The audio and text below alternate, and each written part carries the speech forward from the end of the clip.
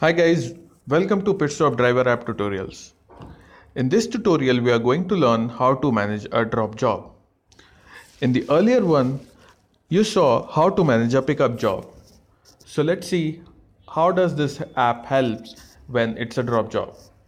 So this is the dashboard screen that we saw in the earlier tutorial.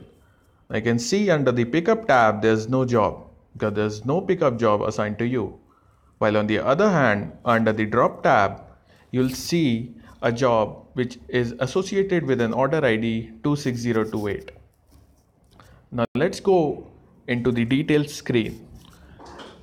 Now you see there's a location which says 14 Lornie Road, Singapore. This is the location where you need to go. Now once you reach the location, you need to pick the vehicle. You need to swipe on this button and pick the vehicle. Now once you're done with picking up the vehicle, now you need to go to the customer's location, which is shown in the app as 21 Nanyang Drive, Singapore, over here on the bottom left hand side. Now, once you're there at the customer's location, you need to do checkout. You click on this checkout tab, fill in the fuel level, hit on next.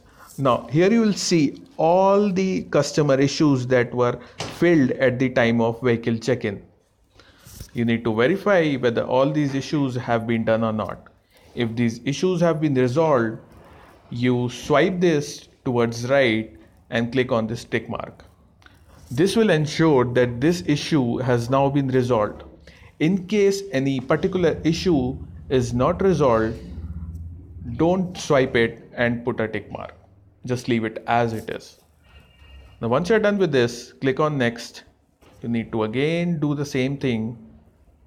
Mention all the dents and scratches that are there in the vehicle. And once you're satisfied with all the thing, click on next. You need to click the same six photographs just to ensure transparency and it's a part of a quality check. Once you're done with it, take the customer's signature and then hand over the vehicle. Now, before doing that, you need to check in the replacement vehicle. Click on OK. Do the replacement check in.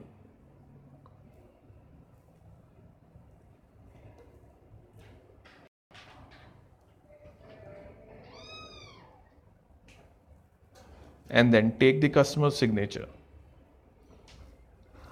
Now, once you are done with that, now you see you have done, you have picked up the vehicle, you have done the checkout of the parent vehicle, you have done the check-in of the replacement vehicle.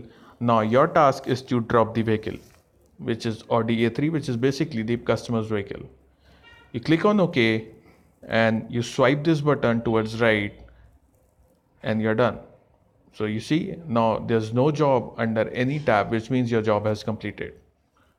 So that's all for the drop job. Thank you.